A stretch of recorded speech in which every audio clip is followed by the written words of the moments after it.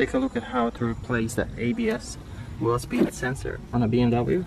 If you remove the wheel, look in the back here, you have the ABS sensor, and just disconnect the cable.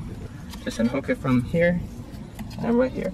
You need to pop this out and uh, disconnect the sensor right there. And remove it. Press on this right here. Pull out.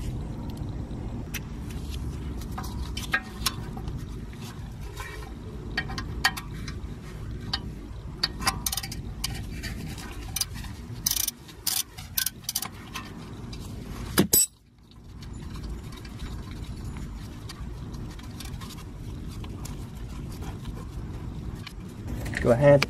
Reconnect it. Make sure these you got this plug. Uh, this plug connected the right way. I want to go in one direction and come back in here. I want to make sure that this is the right place here.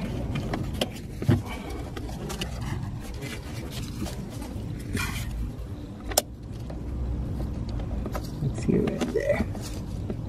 Connect that there. Push it in. And the last step is to install the ABS sensor in the wheel hub and torque the bolt to 10 newton meters.